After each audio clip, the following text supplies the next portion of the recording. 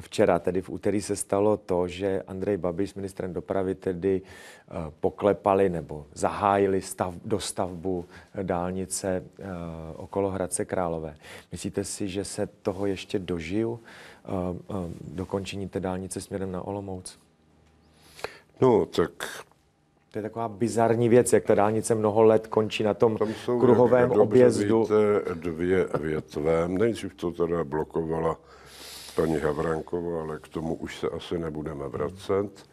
Jedna větev směřuje k polským hranicím a druhá větev na tu Olomouc.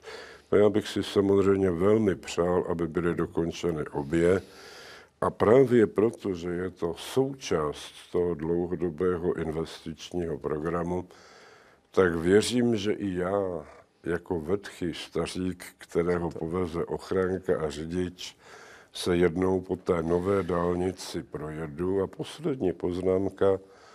Věřím, že já zaklepám na náhrobní kámen organizace, která se jmenuje Děti země.